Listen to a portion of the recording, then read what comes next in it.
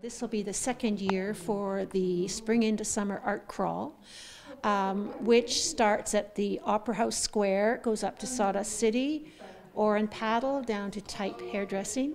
We have over 100 artists lining the sidewalks, and um, the artists are um, the regular accepted art forms like painting, but we also have pottery, we have dancing, we have singing, we have hair, um, hair art, we have makeup, we have cooking. Um, and I think that the whole idea is to bring people to downtown Gravenhurst and enjoy the day. Saturday, June the 25th from 10 till 5. And the f- food is going to be um, done by the Gravenhurst Rotary Club.